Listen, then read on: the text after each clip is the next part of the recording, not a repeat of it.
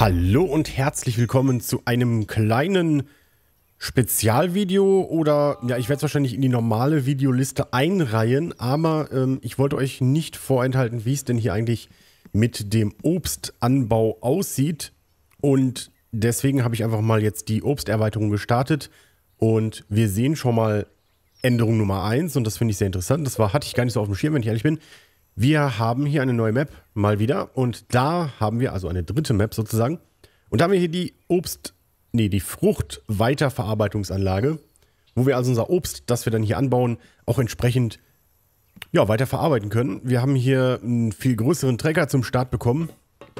Mit Spritze. Damit müssen wir direkt mal loslegen und zu unseren Feldern fahren. Denn, ups, denn bevor wir den Obstanbau starten können, müssen wir erstmal die Felder düngen. Im freien Spiel werde ich das auch zeigen. Da werde ich euch allerdings auch zeigen, was ich da empfehlen würde, welche Maschinen ich kaufen würde und welche ich dann von welche Tätigkeiten ich von Helfern machen lassen würde, weil da muss man schon ein bisschen drauf aufpassen, weil das sind halt Investitionen.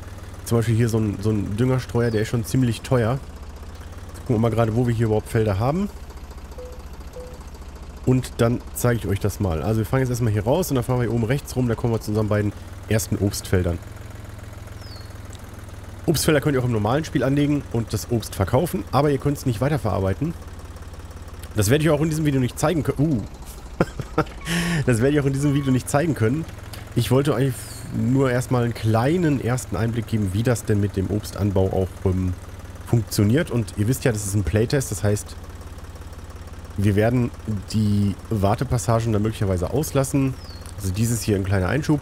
Und ich möchte euch bitten, in den Kommentaren jetzt ähm, fleißig, fleißig abzustimmen.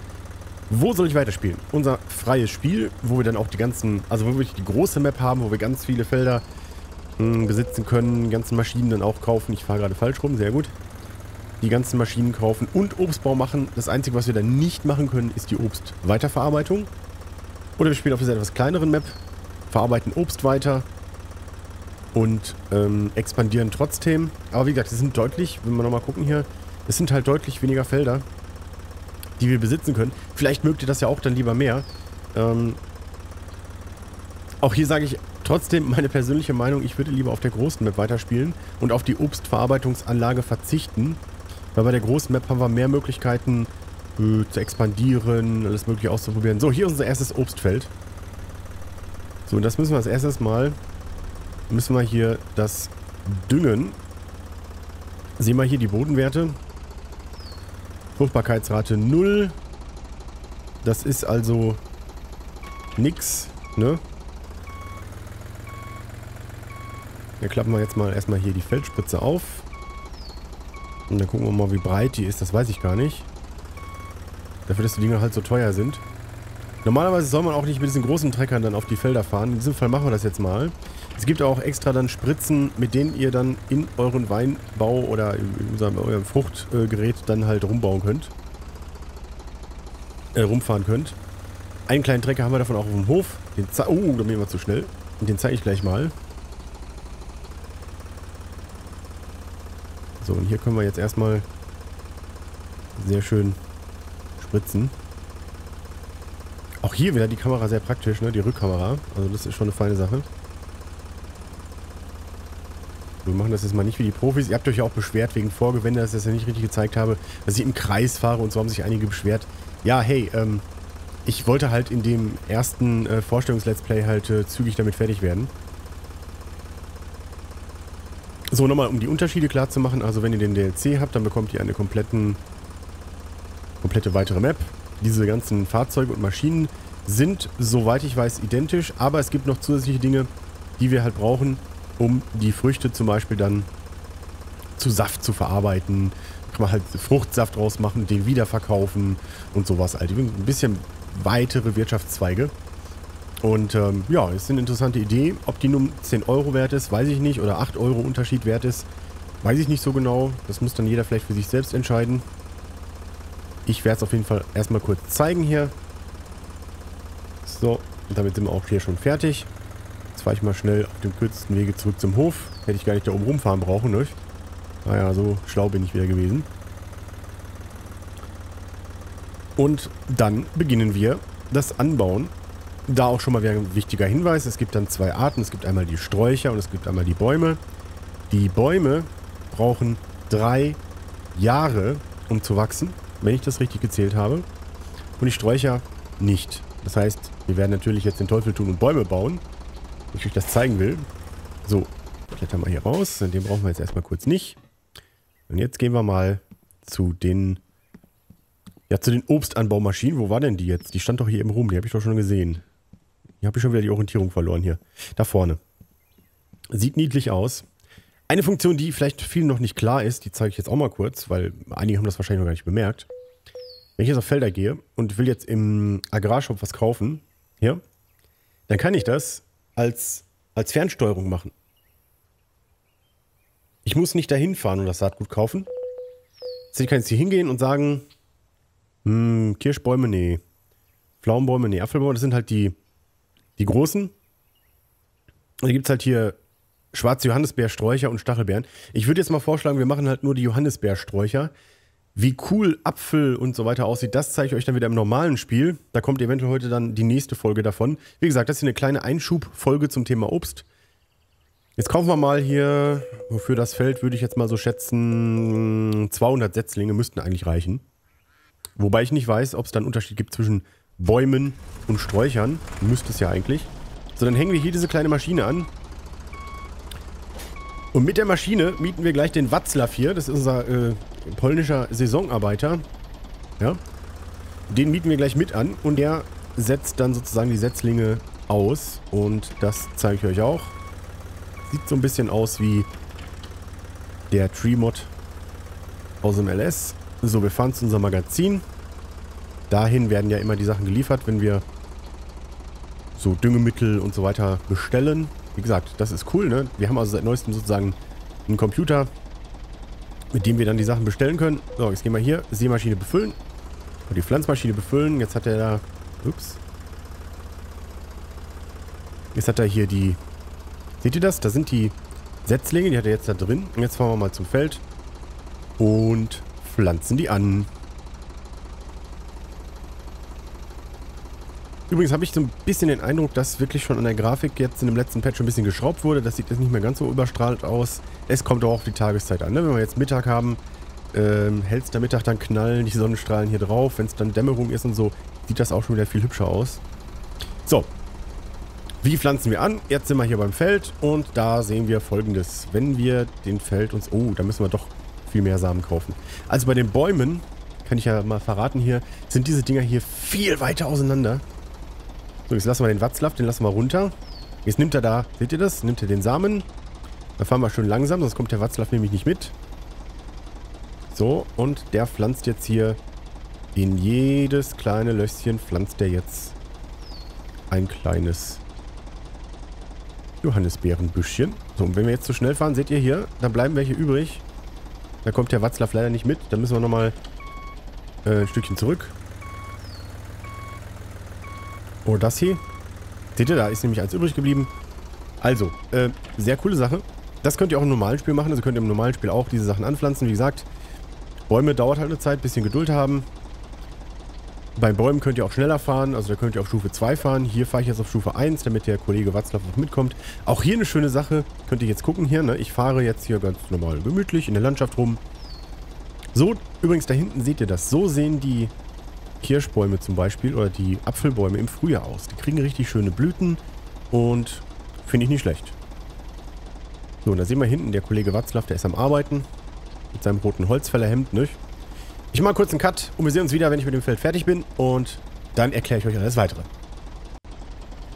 Wir haben mittlerweile Juni und wie ihr seht, aus den kleinen Sprösslingen sind jetzt hier schon die ersten kleinen Pflänzchen mit den ersten kleinen Trieben herangewachsen. Ich wollte euch das einfach mal zeigen, weil ich finde das einfach sehr, sehr schick gemacht.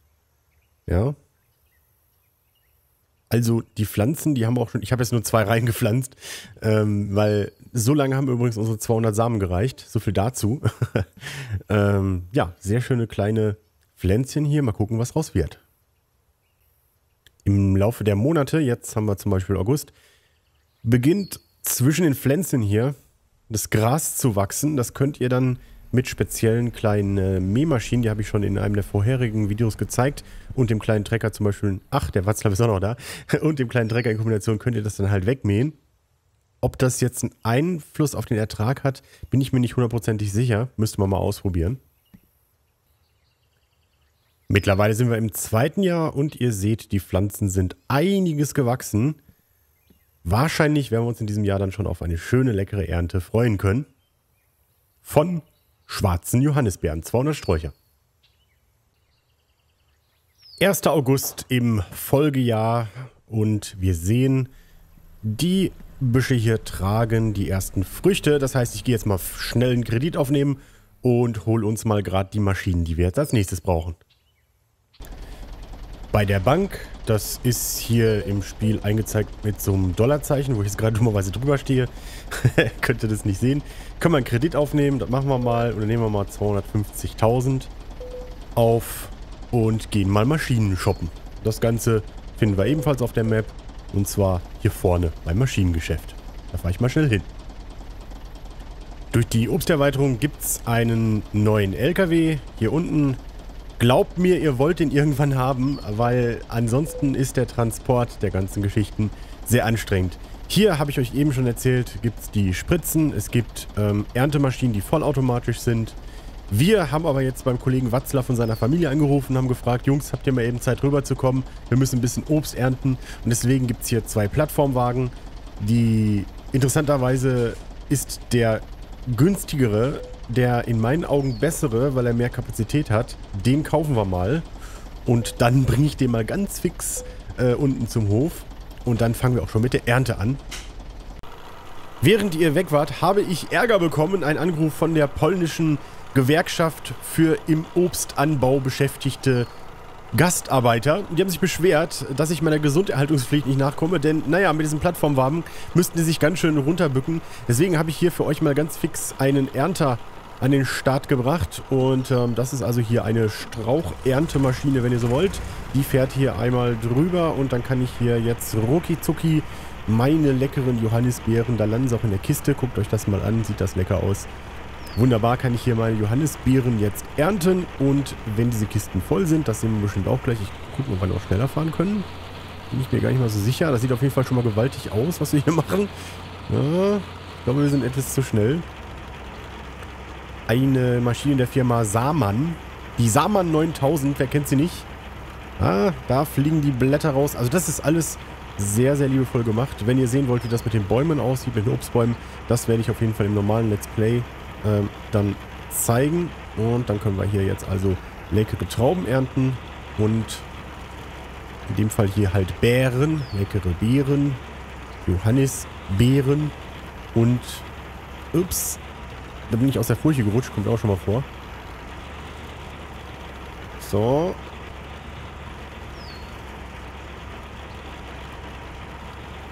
Schauen wir mal. So, da sind die ersten Kisten abgefallen. Ja, und die transportieren wir jetzt zum Händler. So, ich schlepp mal eben die Kisten hier auf die Plattform. Ah. Und dann schauen wir uns mal an, Eieiei, sind die Dinger schwer. Nee, nee, nee, das ist nichts für meinen Rücken. Und dann schauen wir uns mal an, wie wir die weiterverarbeiten können. Ja. Hier sind wir an der Obstfabrik angekommen, einem Hauptelement des großen DLCs sozusagen. Aliumuloi, hier stehen die Auflieger, die können wir später selbst besitzen, selbst damit rumfahren. Zu Beginn des Spiels können wir allerdings nur eins machen, nämlich wir können die Früchte hier abladen in die Weiterverarbeitungsanlage. Und das war es auch schon. Kann man später ausbauen. Später können wir äh, mehr Dinge damit machen. All das und mehr werdet ihr natürlich bei mir im Let's Play sehen. Aber hier das erstmal als kleiner erster Eindruck in das, was hier alles geht. Wie gesagt, die weiteren Details schauen wir uns dann in aller Ruhe an. Hier ist auch irgendwo bestimmt noch eine Info. Wollen wir mal gucken, was da aufploppt. Moment. Habe ich da nicht gerade was gesehen? Jedenfalls, äh, Riesengebäude, Riesenfabrik hier. Und ähm, Ja, ich bin gespannt, was wir da dann noch entdecken werden. Ähm, mal schauen, ob heute noch eine weitere Folge des normalen Let's Plays kommt. Ich lasse erstmal diese hoch. Bin mal gespannt, wie auch abstimmt, wie es dann weitergehen soll. Aber ich, äh, wie gesagt, präferiere auf der großen Map weiterzumachen und da trotzdem dann Obstbau zu machen. Das Einzige, was halt nicht machen können, sind halt so Fruchtsäfte verarbeiten und so weiter. Aber dann habt ihr noch was zum selber rausfinden. Ich bin raus. Danke fürs Zuschauen. Empfehlt die Videos weiter. Lasst einen Daumen da. Lasst einen Kommentar da. Würde ich mich freuen. Bis zum nächsten Mal. Danke fürs Zuschauen und bis bald. Tschüss.